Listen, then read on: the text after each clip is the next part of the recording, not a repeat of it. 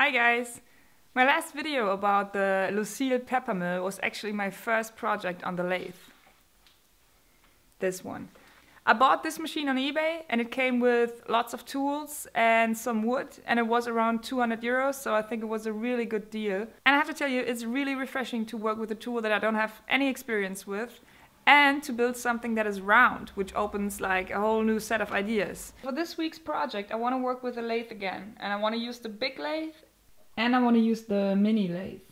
I think it would be really cool to combine brass with some kind of darker wood, maybe walnut. So let's check out my wood storage and see what we can find. Okay, so here's uh, the wood I have. I don't want to spend too much money on this project because uh, from all the moving I am super broke but I think we will find something in here. This is um, the cutoff from the walnut lamp I built a couple months ago. It was my first video actually. I think it, it could be a bit too small. So this is something we could try. And remember, oops. Uh, I don't even know what kind of wood that is. I bought that I don't remember. Maybe that came with the lathe, I'm not sure, but it definitely looks uh, tro tropical, I would say. Maybe that's teak. If you know what that is, let me know.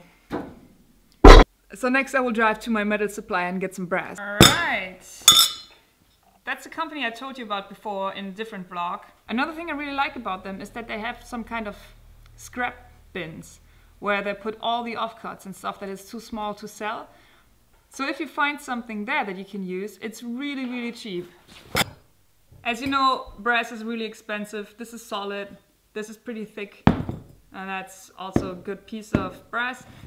It was, I think, 12 euros. I, can't, I really can't wait to play around with that. I hope it works out. We will find out on Sunday. In case you are wondering about the background, about that sign, I used to uh, I used to DJ a lot with a friend from uh, university. We studied together, and we had this DJ team called Tanzdiafen, which means Dance You Monkeys. So that's an old sign I built for our DJ booth. Unfortunately, I don't have too much time to do that anymore. Still really like it. That's that's why I listen to records basically because I started DJing and started buying vinyl, and I absolutely love it, as you know. Speaking of records.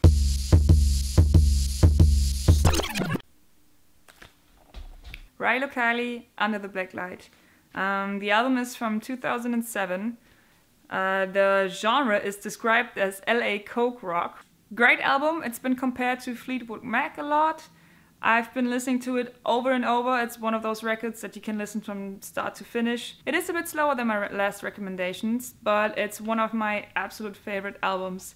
I would suggest listening to uh, The Moneymaker Smoke Detector, and Breaking Up. Great songs. Um, please check it out. Please let me know what you think. Last week I started playing around with super short movies. I did two of them. The first one was the Lucille baseball bat, and the second one is the money clip. I didn't release that video on YouTube. Those super short movies are great fun, but they're not really suitable for YouTube because you have to click on the video and then the pop-ups and the commercials and blah blah blah. So it's a lot of stress for 10 seconds of film. So I think I will release those short movies on Instagram. Instagram loops the videos, which makes a lot of sense for 10 second movies.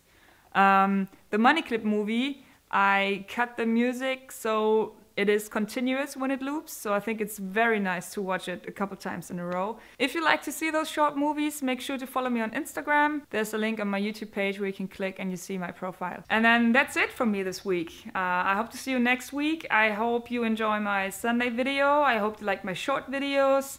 Uh, leave me a comment and a like and subscribe if you haven't already.